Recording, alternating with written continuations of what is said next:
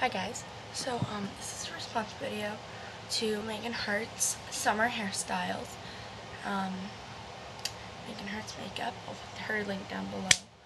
Um, she did a summer style thing, and one of the styles was twist. So that's what this is. It's just two pieces of hair twisted together, um, much easier than a braid. So I did that with my bangs.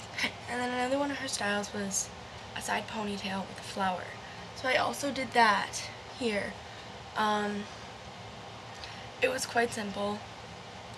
Um, and yeah, she wanted to put us to put video responses of us using her hairstyles. So that's exactly what I did. Um, this is just a cheap flower that I got from my grade at graduation. Just keep this back with a pin or some sort of clip. And yeah. Okay, bye.